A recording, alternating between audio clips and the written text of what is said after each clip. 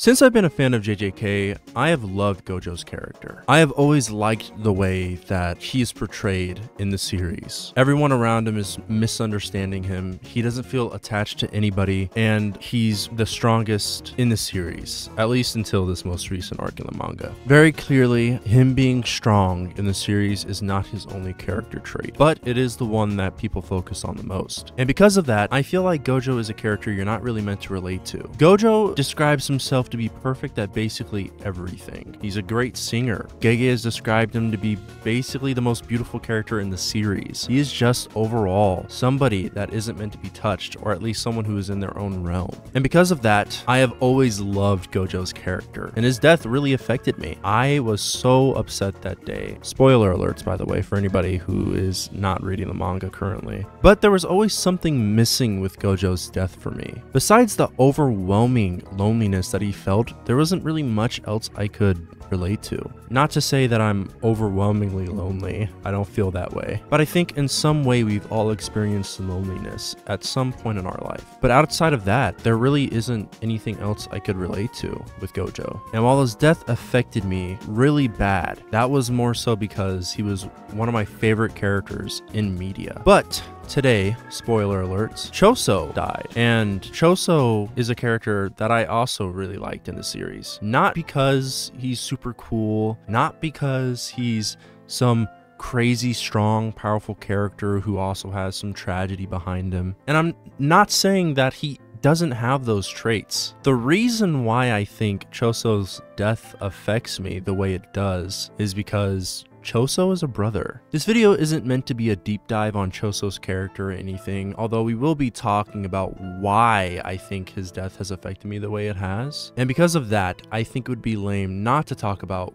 who Choso is as a character and what has shaped him to be the character he is today. When Choso was introduced, he seemed like a really bad guy, I think, personally. Although, like most characters in JJK, there's more to it than just being evil. It's like there was with Toji. You know, when you see Toji, you'd think that he's just an awful human being, and truthfully, he is. He really is. But there's a reason for that. But when he's first introduced, Choso just seems like another evil person. It's the death of his younger brothers that really started to shape the mold of who Choso's character really was. He obviously looked affected by it as soon as it happened. And while at first it looks like it's a cold response on Choso's part, very clearly he's enraged by it. And it's in the Shibuya arc where Choso's character is expanded upon. He genuinely seems like somebody who cares about his younger brother's deaths and wants to avenge them. And me personally, I genuinely love the way the anime handled the fight between Yuji and Choso, and even the end. I loved the little memory scene that they showed. Later on in the series, we find out that Choso is able to find out when his brothers are about to die because of a sense that he has. And he senses that exact same thing when he's about to kill Yuji. The instant he finds out, he is in shock. We don't necessarily know what's happening when it's shown that Choso is getting this false memory. We figured it was just some defensive mechanism coming from Yuji, or at least that's what I thought.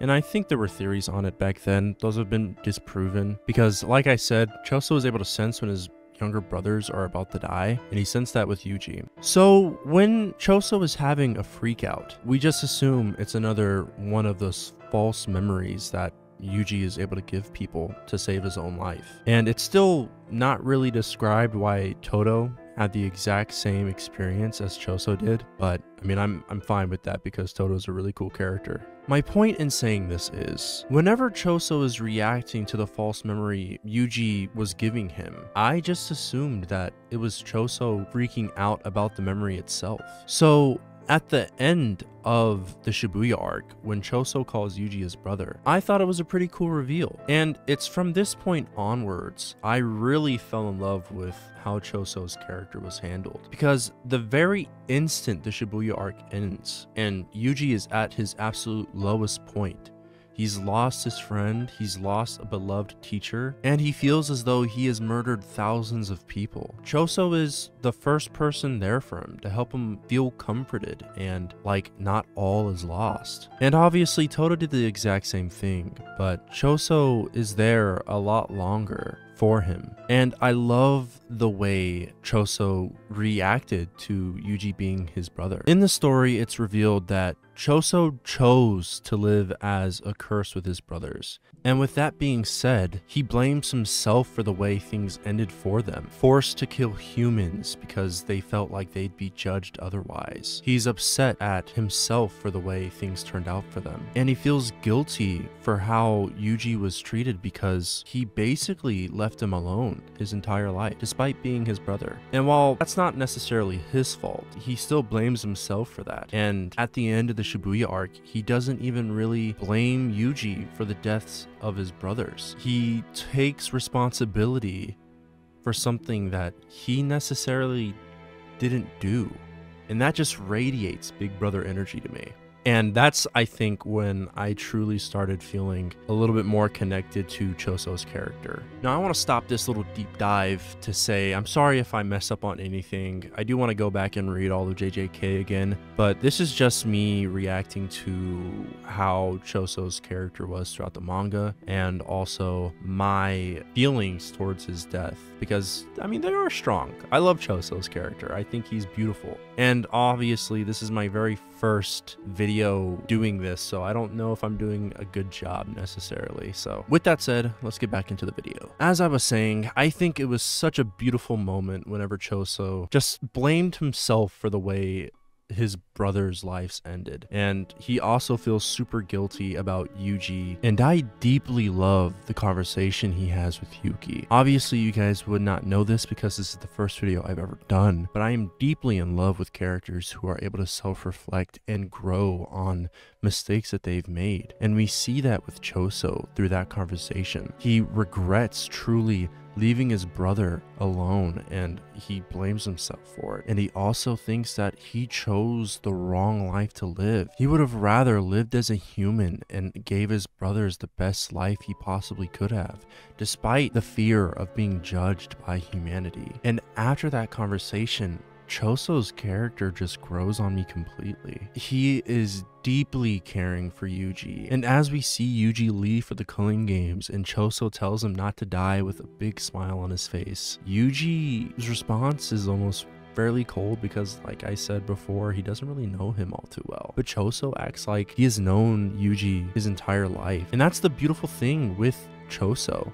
And obviously, you know, the timeline is a little mixed up. I'm not here to talk about it like perfectly. I'm just going through some of the things that pop in my head. Anyway, I think that Choso was beautifully written and the way he ends is a masterpiece in character writing for Choso. Sukuna throws a flame arrow Yuji's direction, and obviously with the domain active, it's awful. Things are looking grim, and Choso jumps in front of it without hesitation. And keep in mind, Choso and Yuji have really only had a couple months to know each other, and Choso sacrificing himself just instantly for the sake of his brother's life is so in character for him. And the last few words that Choso says to Yuji are actually so heartbreaking. There is no jealousy or pain or anger in Choso's voice. It is literally just the loving last words a brother could give. He says that younger brothers are meant to surpass their older brothers, and he's sorry for being so useless in teaching Yuji because everything that he knows is from instinct. He feels even then as though he has failed as an older brother, but also there is a sense of pride in his younger brother's growth and happiness for him, and that is just so beautiful to me. I'm super happy with the way Choso went off. And unlike almost every other death, I think that Choso's is by far one of the most